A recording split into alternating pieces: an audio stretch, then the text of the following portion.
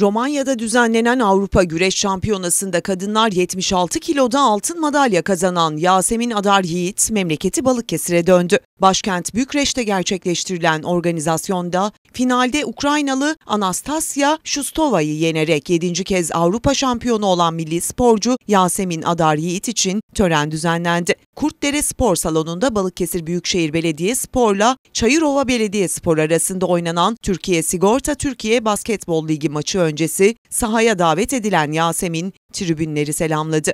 Balıkesir Büyükşehir Belediye Başkanı Yücel Yılmaz, izleyicilerin ayakta alkışladığı Yasemin Adar Yiğit'i tebrik etti. Milli sporcuya çiçek verdi. Başkan Yılmaz'ın eşi Mehtap Yılmaz da Yasemin'i başarısından dolayı tebrik etti.